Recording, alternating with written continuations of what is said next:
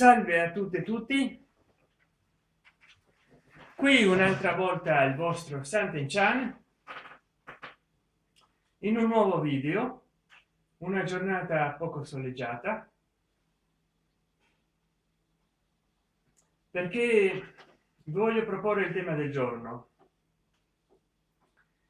che è controverso.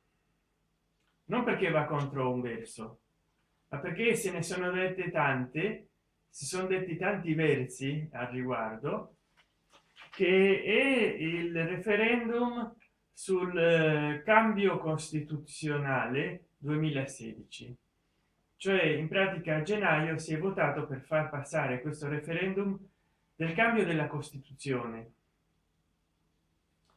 che eh, si voterà questo referendum ad autunno eh, in pratica eh, secondo quanto ho sempre pensato ed è stato anche corroborato da quanto è successo nell'ultimo referendum come sempre sarà molto probabile che vinca il fronte dell'astensionismo.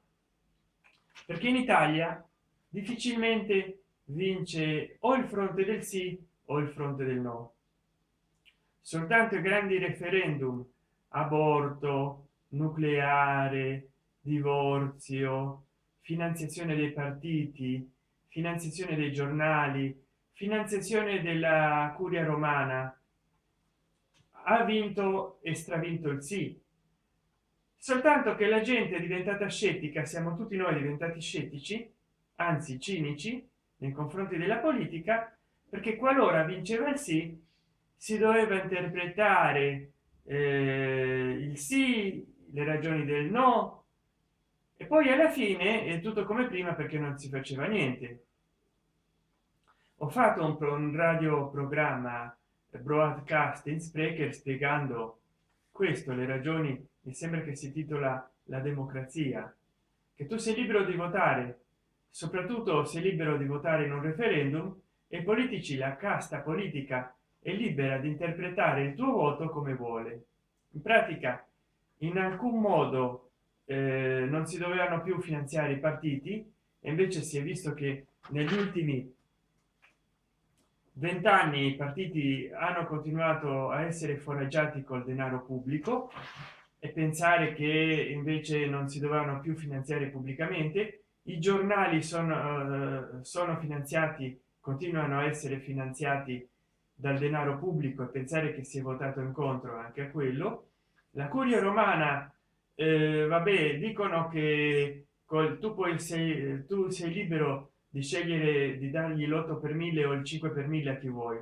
Ma se scegli lo stato la ricerca scientifica magari poi lo stesso lo stato italiano presta o dona denaro a seconda di come lo si voglia interpretare alla curia romana al vaticano per cui alla fine eh, l'8 per mille il 5 per mille sono facoltativi alla chiesa romana però eh, conosco molte persone che l'ultimo rapporto annuo che ricevono ogni anno una busta dall'inps non hanno più ricevuto il modulo dell'8 per mille del 5 per mille da destinare altri culti religiosi alla ricerca scientifica o allo stato.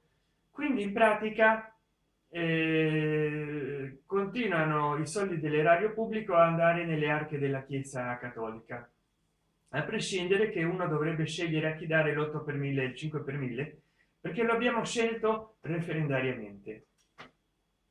L'ultimo referendum sulle torri estrattive eh, non è passato per mancanza di quorum. Già la gente se ne frega si rassegna anzi quello che è peggio se ne fotte adesso all'autunno si farà un altro referendum perché eh, serve spendere denaro 300 milioni per non, raggiungere non raggiungere il quorum sul referendum sulle pozzi estrattivi che poi si è visto quello gli sversamenti che ci sono a genova le contaminazioni in mare e nei fiumi nei torrenti la gente intossicata. Beh eh, credo che sia a genova sì. Eh, non a venezia genova beh lì non si è raggiunto il quorum e si sono spesi 300 milioni. Adesso si farà un altro referendum. Passerà il quorum? Passerà il sì? Passerà il no? Tutti stanno a discutere che cosa succederebbe se passerebbe il sì che il governo vuole che passi il sì. Io ho letto tanto in internet in questi giorni ma veramente non ci ho capito molto. Perché in linea di principio sono tutte cose giuste buone. Ma in pratica non si sa mai come le attualizzi le ha come attuare perdono come realizzeranno tutte le cose che dicono che diminuiranno il numero dei politici dei deputati dei senatori eh, si accentrerà di più il potere come attueranno tutte queste modificazioni. Comunque una premessa fondamentale che tutti si sono scordati. Per 50 anni o più anzi dal dopoguerra da quando si è votato nel 48 negli anni in quegli anni abbiamo avuto un'unica costituzione che magari è stata ritoccata e riformata malamente molte volte soprattutto negli anni 90 però di base era la stessa. Adesso io mi chiedo quante volte la costituzione che non avevamo non avevamo perché non la applicavano non è stata rispettata. Infatti non è che non avevamo, non avevamo proprio costituzione. Ce l'avevamo. Adesso si pensa che non era perfetta. Il fatto è un altro che dal dopoguerra abbiamo avuto una costituzione un'unica costituzione malamente ritoccata molte volte che non è stata mai rispettata alla lettera perché il problema dell'italia è sempre stata la partitocrazia che ha inquinato inficiato tutto eh, come un polipo che ha messo i suoi tentacoli dappertutto in consigli comunali amministrativi regionali ehm, aziende di stato private. Quindi eh, anche se abbiamo avuto un'unica costituzione malamente ritoccata fino ad oggi bisogna vedere quante volte è stata rispettata nello spirito e nella lettera quella vecchia costituzione repubblicana. Adesso vogliono direttamente farne un'altra modificarla a tal punto che in pratica cambia costituzione. Non si può dire che è un referendum per la modifica costituzionale. No! Cambia del tutto la costituzione italiana. È un'altra. Ed io mi domando se i partiti non sono mai riusciti a poter o a voler rispettare la vecchia costituzione italiana perché mai dovranno arrivare a voler o a dover rispettare la costituzione che essi stessi creano adesso? Ma fanno le costituzioni per salvarsi loro? Questa nuova costituzione la fanno per salvarsi così come hanno eliminato il reato penale di falso in bilancio di azzottaggio di, di truffa aggravata di eh, diciamo bancarotta fraudolenta. Non si va più in carcere per molte cose si pagano solo penalità e chi fa delle grandi truffe delle truffe alla grande poi preferisce pagare una pena amministrativa pecuniaria in denaro che è infima in confronto a quello che ha guadagnato con le tangenti con i ricatti le estorsioni il falso in bilancio la truffa amministrativa la bancarotta fraudolenta. Sono tutte leggi che si sono fatti questa classe amministrativa politica dirigenziale ed imprenditoriale per continuare a colludere allegramente. Perché tanto ormai non rientra più nulla nel reato penale ma nel reato amministrativo. E a volte le multe sono eh, stabilite eh, su criteri molto vetusti. Per cui oggi che eh, sì magari ieri un milione di lire era molto negli anni 70 80 oggi per un'azienda piccola eh, mille euro non sono nulla e magari ci hanno marciato per più di vent'anni guadagnando milioni di euro. Allora io mi chiedo non hanno mai rispettato la vecchia costituzione? Del tutto.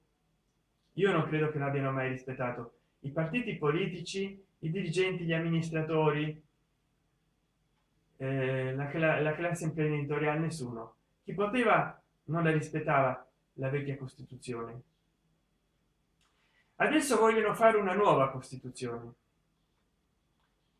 che in primis va a oltraggiare la vecchia costituzione. In secondo luogo è un accordo è un accordo fra partiti. E, e quindi è più qualche cosa che i partiti vogliono. Non che la gente vuole la gente vuole che si applichi la costituzione alla lettera.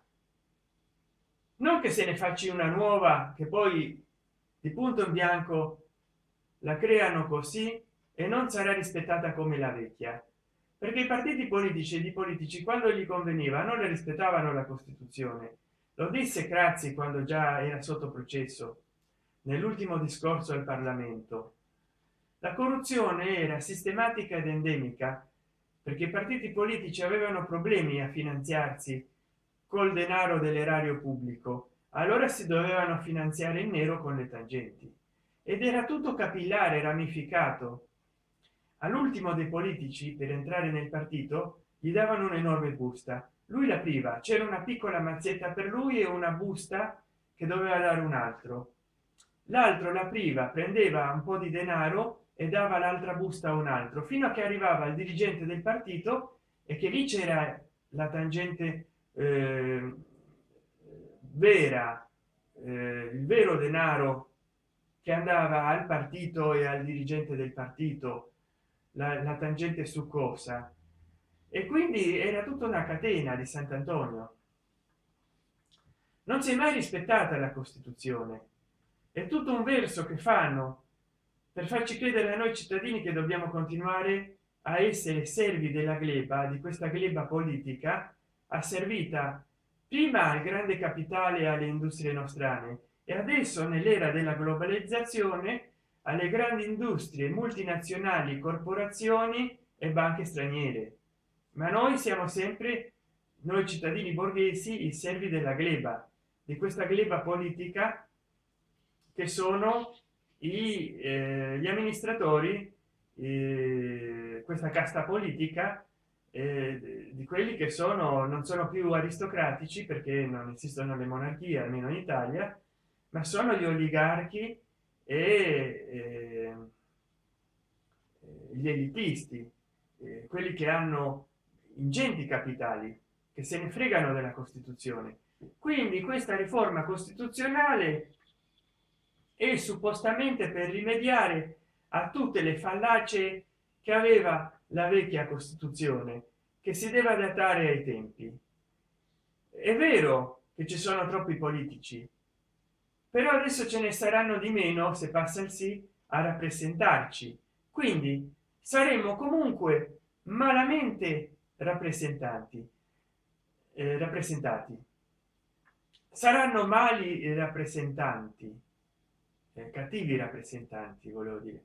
Comunque saremo malamente rappresentati perché prima c'erano troppi rappresentanti parlamentari senatori deputati per regione ma si vede con che grado di inefficienza e di inefficacia e di mancanza di scrupoli rappresentavano le province le regioni e i cittadini adesso si ridurrà il novero soprattutto dei senatori e non è detto che ci rappresenteranno meglio perché mancheranno eh, rappresentanti per le regioni le province le città e i cittadini in generale.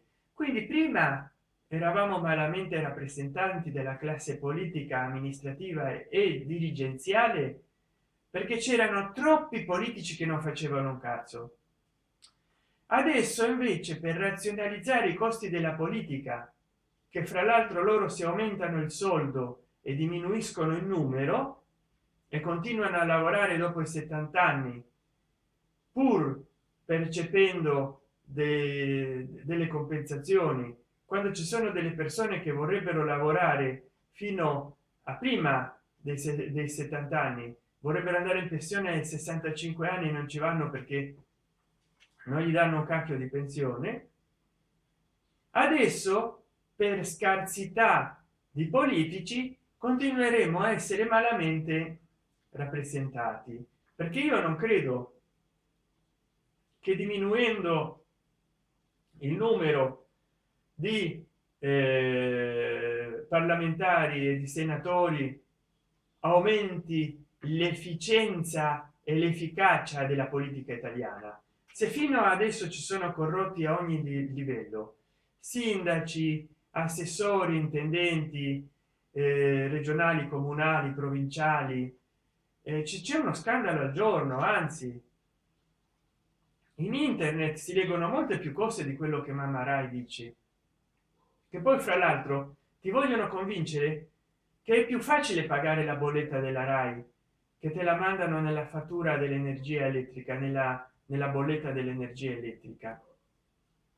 Invece una balla perché così ti aumenta eh, la bolletta elettrica. Capito? È una cosa assurda. Stanno facendo delle cose assurde. Io non, non riesco a capire tutti questi cambiamenti. Rinnovano tutto per non cambiare un cazzo. Dovrebbe essere libero l'abbonamento alla rai. Chi vuole paga e se la guarda. Pay per view. E chi non vuole non paga e non se la guarda. Quanti mangiano della rai? Quanti partiti politici? Lo stesso che con la finanziazione pubblica dei giornali e dei partiti politici. Vabbè allora il mio pensiero riassumendolo il seguente se si vota sì si tagliano le spese alla politica però il rischio è che si tagli anche con questa riforma della costituzione italiana la rappresentanza dei cittadini italiani nella politica perché diminuiscono i politici e ci sono ci saranno meno rappresentanti per i cittadini italiani. Se si vota no si conserva un sistema affollato di politici di questa casta politica molto ipertrofica che lo stesso per inefficienza inefficacia non ci sa rappresentare anche se attualmente c'è una inflazione di amministratori delegati dirigenti politici eh, ce ne sono tanti ma non sanno fare un cazzo perché stiamo andando allo scatafascio. Quindi eh, sia che diminuiamo il numero dei politici o che li aumentiamo per me non va a cambiare nulla perché sono così scemi e privi di scrupolo. Ladri inesperti inorganizzati inefficienti inservibili inutili eh, e inefficaci che se passa il sì riducono il numero di politici e non è che lavoreranno di più. Sempre lo stesso risultato avremo. Se invece passa il no. Ci teniamo tutta la sfilza di politici che abbiamo adesso. E continueranno a lavorare anche se sono molti come lavorano adesso per niente. Quindi che siano pochi o che siano molti se diminuisce il numero dei politici si aumentano lo stipendio quindi che cambia? Ridurre il numero di politici? Per ridurre le spese della politica? Se si stanno costantemente aumentando i privilegi le diete? Perché loro non hanno diritti. Loro non versano contributi loro non lavorano. Dovrebbero gli onorevoli lavorare ad honorem cioè per l'onore non per il denaro. Invece ricevono dei contributi dei risarcimenti delle indennizzazioni delle spese sempre in costante aumento. Per fare che? Poi alla fine non fanno un cazzo. Allora se passa il no rimane lo stesso numero di politici che si continua a aumentare i risarcimenti e poi a ricevere anche pensioni che non hanno diritto perché non hanno contribuito in nulla. Se invece passa il sì ridurremo il numero dei politici eh, però loro continueranno a aumentarsi ancora di più i soldi perché il presupposto per la politica sarà lo stesso e se lo ripartiranno in un numero minore di politici rappresentando gli stessi partiti. Quindi metà andrà ai partiti politici e sarà più grassa più grossa più consistente la somma di denaro che i politici intascheranno quindi per me io non so come voterò. Con molta probabilità voterò per il no. Anzi voto per il no perché tanto cambiare per andare in peggio. Però se voti sì sappi che diminuiranno i politici ma si aumenteranno la dieta. I soldi che percepiscono gli indennizi i ri indennizi i indennizi e quindi alla fine è come si aumentano i politici. Quindi io voto no.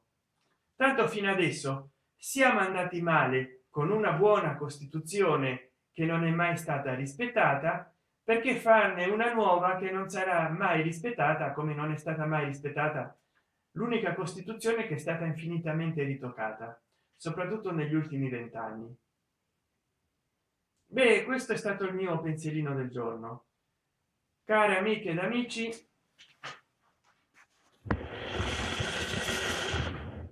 vi ringrazio a tutte e tutti voi di seguirmi. Un saluto dal vostro santen chan mi raccomando non lasciate di seguirmi. E da presto. Ciao e mi raccomando non scordatevi di sottoscrivervi a questo canale di votare mi piace i video che vi piacciono di lasciare dei commentari ai video di avviare delle discussioni nell'appartato discussioni del mio canale e di consigliare ai vostri amici parenti familiari conoscenti contatti di guardare il mio canale di youtube santen chan un abbraccio e a presto e grazie di seguirmi. Poi più in là farò un video che ho sempre posticipato perché ho superato le 280.000 visioni del canale. E volevo fare un video per ringraziare tutte e tutti voi di aver superato le 280.000 visioni. In realtà già lo volevo fare una volta raggiunte le 200.000 visioni del canale. Poi lo volevo fare una volta raggiunte le 250.000 visioni del canale ma non ho mai tempo. Anzi lo volevo fare una volta raggiunte le 150.000 visioni del canale le 180.000 eccetera. Allora più là farò un video. Forse avrò già raggiunto le 300.000 visioni del canale non lo so. Eh, arrivederci ciao dal vostro santen chan e un saluto particolare a mimmo corcione. Ciao mimmo. Sei forte continua così